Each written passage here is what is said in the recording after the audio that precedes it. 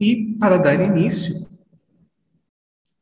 né, e mantendo o nosso cronograma, eu passo agora a palavra para o professor Bruno Andriotti, que irá apresentar o trabalho intitulado A Vida Sexual do Homem de Aço, entre o ideal do casamento e o amor líquido. Uh, bom, então meu nome é Bruno Andreotti, sou doutorando na Pontifícia Universidade Católica de São Paulo, tenho trabalho com os quadrinheiros que estão presentes aqui, o Maurício Zanolini, o Iberê e o nosso querido Renato Ferreira Machado, que é o nosso quadrinheiro honorário. Uh, é um prazer estar aqui hoje, agradeço também ao Nathaniel, nosso parceiro ali, sempre está com a gente no, no podcast, lá no Papo Quadrinheiro, agradeço a oportunidade. Uh, bom, o que eu vou apresentar hoje aqui é uma pequena parte do meu doutorado, na verdade é um, um excerto do, de um capítulo, né, para falar um pouquinho, então, sobre uh, a vida sexual do, do Homem de Aço, né, já que é quadrinhos e sexualidade, Uh, é, a, eu faço, né, o meu método é a partir da, da análise de, de um período histórico determinado, né, então eu pego os, os quadrinhos dos anos 30, dos anos 40, anos 50, vou passando, e a partir da identificação de temas recorrentes eu vou, uh, né, o fato deles estarem se repetindo está indicando alguma coisa, né, indica alguma coisa, e a partir da constatação da repetição de alguns temas, eu faço, então, uma, uma interpretação disso, né? É, esse método é, é, muito tributário das análises sobre o imaginário do Gilbert Durand, né? Ah, mas eu pouco vou falar desse aspecto hoje, eu vou me concentrar, então, no nosso assunto principal, que é, então, como que o Superman, nos seus anos de existência, lidou, então, com a, com a vida sexual, como é que isso acontecia, né?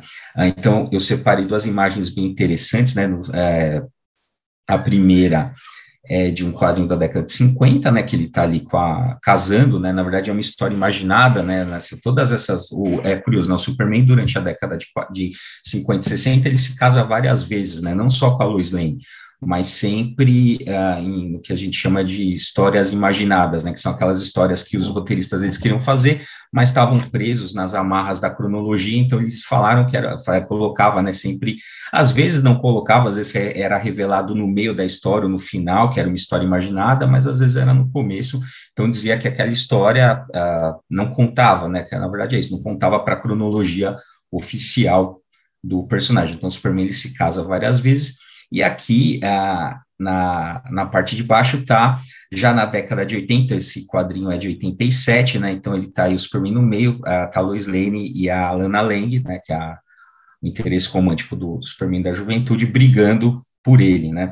E é interessante, acho que aí não dá para ver, mas aí tem, tem um, é, quem faz a capa é o John Byrne, e aí tá escrito assim, olha, eu, eu, garanto que essa cena não acontece no quadrinho, porque era muito comum, né, principalmente durante a Era de Prata, você, assim, ter umas capas totalmente absurdas, que obviamente você ia chamar atenção, você ia levar o quadrinho para casa, né, mas não tinha aquela cena, ou então aparecia de um jeito muito, assim, tinha alguma relação, mas era muito, muito deturpado, assim, o negócio. Então, aí ele está escrito ali que ele garante que aqui nós não veríamos aquela cena durante o, o quadrinho, mas a gente vê alguma coisa parecida, né? Uh, então, eu queria é, marcar esses dois momentos, né? um momento em que, então, nos anos 50 e 60, que o, que a, que, a, que o casamento aparecia como ideal, né, então, uh, para o Superman, né, para o Clark Kent, e já nos anos 80, onde você substitui isso é, por um, digamos assim, por, um, por vários relacionamentos. Né? O, o, casamento ele meio que perde, não está mais no horizonte, e o Superman começa a ter vários relacionamentos. Né? E antes de, de prosseguir, eu vou agradecer ao professor Ruben, que uh, fez a, a, ele fez uma, uma apresentação muito interessante na quarta-feira, se eu não me engano, sobre as mulheres do Superman na obra do John Byrne. Então, já peguei algumas informações com ele, já a coloquei na informação, então vou fazer esse agradecimento a, ao Ruben, porque já foi, foi, bem interessante a apresentação dele e também contribuiu aqui para a minha, já deixo aqui meus agradecimentos. Bom, uh, vamos seguir. Antes de eu começar nosso assunto, eu queria falar um pouco sobre o corpo do, do Superman como modelo de perfeição né? Isso tem, tem a ver com que, gente, principalmente quando a gente chegar na obra do, do Byrne. Né? Bom, uh, então eu queria assim, é, assim né? Então, se é verdade que no século, o século XX, né, ele vai marcar uma crise da virilidade, a gente poderia num sentido uh, geral, genérico, substituir virilidade por masculinidade. No, no livro A História da, da História da Virilidade, né, tem três volumes, uh, eles fazem uma diferenciação conceitual entre masculinidade e virilidade. Para o nível de generalização que essa apresentação se encontra, não tem muita. Uh, a gente pode usar esses termos de maneira intercambiável, tá? Mas eu vou usar virilidade porque está uh, porque é daí da obra que eu tirei. Então, marca uma crise da virilidade, no século XX marca uma crise da virilidade dependente, ou seja, da falsa ideia de uma onipotência masculina supostamente perdida. Então, uh, o mito viril, ele, ele sempre é reativado a partir dessa noção que haveria uma virilidade perdida, né, uh, na sua encarnação do próprio corpo e na busca de seus avatares que se revelam simulados. Então, você sempre vai procurar em algum modelo alguma masculinidade perdida, seja num herói de ação, seja lá no Rambo, no Schwarzenegger, você sempre está é, escolhendo esses avatares que representariam um ideal de masculinidade perdida, né? Uh, se a gente partir dessa, dessa noção, o Superman, ele também é um desses avatares, né, um simulacro desses elementos. Ele constitui uma parte, né, o Superman ele constitui uma parte importante desse mito viril, que também é uma parte importante do imaginário heróico americano, que é o que eu estudo, né.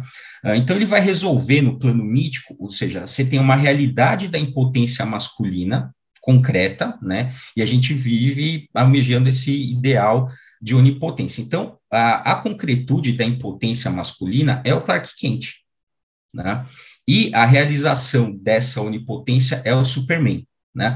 E isso é curioso, né? Porque isso é apontado como uma das, uh, isso garantiu de certa forma o sucesso do Superman, né? Você, você vários uh, uh, analistas, né? Vários uh, teóricos, ou que aquele que se debruça para estudar o Superman, apontam isso, falam, olha, essa questão da dupla identidade, né, de ter o Clark Kent fraco, o Superman forte, isso facilita a, a identificação com o público leitor, e isso é uma das razões para o sucesso comercial do Superman.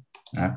Então, aqui eu separei para a gente ver como é que o Superman era desenhado. Então, aqui na década de 40, com o o, o Joe Schuster, né? Aqui 48 já, aqui é o Wayne Boring, e aí eu, uh, parece também um pouco com o Superman do Kurt Você vê que ele vai ficando cada vez mais encorpado, né? E aqui em 86 você vê o Superman bombado do John Byrne, que ele é, ele é, ele é um bodybuilder, né? Ele é um alterofilista, um, um sei lá como é que traduz isso em português, um cara que faz academia, né? Você vê que ele é todo, né? Essa, enfim, mas é, você vê, então, ele sempre está atlético, né, mas vocês estão vendo que ele vai ficando cada vez mais uh, bombado, né?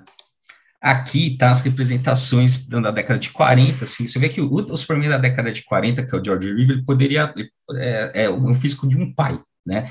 É, ele, ó, pode ver, ele tá, até tem uma, como o Batman também lá de 60, ele tá até uma barriguinha aqui, né?